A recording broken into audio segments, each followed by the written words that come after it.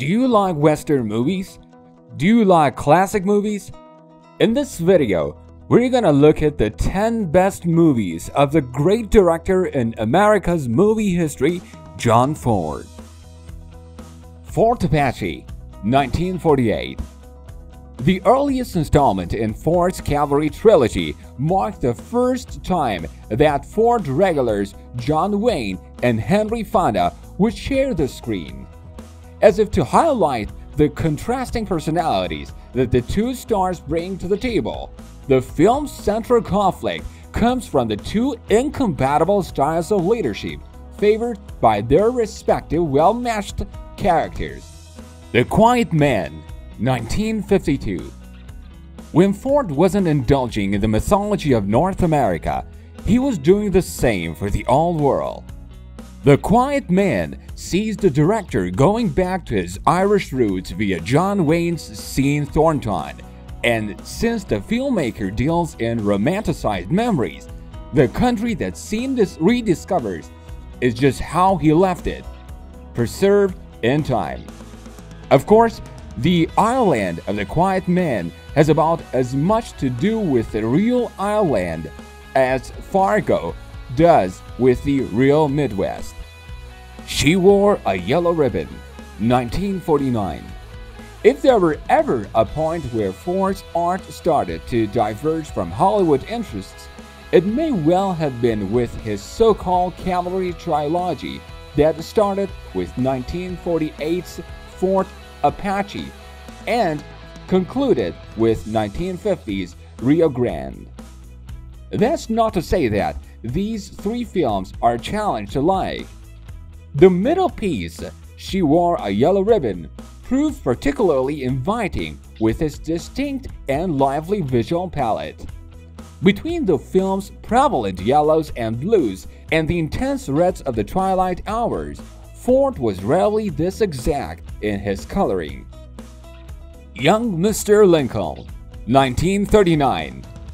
In the same year that Stagecoach gave John Wayne his breakthrough, Ford released his first collaboration with his other favorite leading man, Henry Fonda. Whereas Wayne was the rowdy, rebellious everyman, Fonda tended to embody a gentler side of the American identity, regularly applying nuanced performances to diligent workers who stood on film principles in their struggles for order and justice. How Green Was My Valley, 1941. Half the mentions that How Green Was My Valley gets these days are in relation to Citizen Kane, specifically how this turn of the century drama set in a Welsh mining village beat the, at least until recently, official best film ever for the Best Picture Oscar. And sure, it's not as good as Citizen Kane, which is about as light a put down as you can lay on any film, but this cinematic hymn still just about trumps any recipient of the award in recent years. Stagecoach, 1939. How big of a deal was Stagecoach? Well, reputedly, Orson Welles considered it to be such a model of filmmaking brilliance that he watched it more than 40 times during the making of Citizen Kane. Stagecoach may or may not have been the director's first great film, but it feels like the moment where all of the elements of the John Ford universe fully clicked into place, resulting in a picture that is widely recognized to this day as holding an unofficial title of First Modern Western. My Darling Clementine, 1946. Ford's adaptation of the famous OK Corral gunfight stands as a testament to the maturity which the director had developed in his craft by the second half of the 1940s. My Darling Clementine just might be the best Western of that whole decade and its genius lies in its details. It's in the rude, antisocial manner of Wyatt Earp upon arrival in the unruly town of Tombstone, and in the surprise of his two brothers at seeing Wyatt dancing at a church gathering. The Grapes of Wrath, 1940.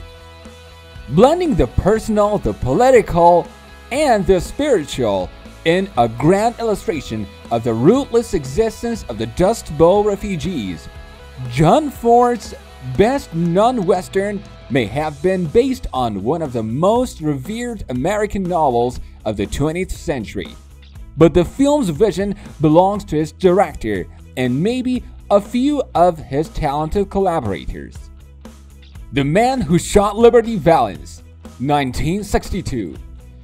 Ignoring that this is the film where John Wayne says Pilgrim a bunch of times, the most frequently quoted line in The Man Who Liberty Valance is one that is generally employed as a reverent justification and summation of John Ford's career. This is the West, sir. When the legend becomes fact, print the legend.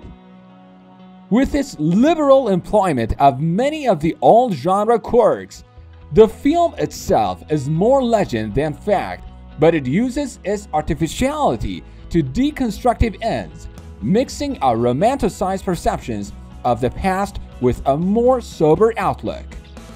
The Searchers, 1956.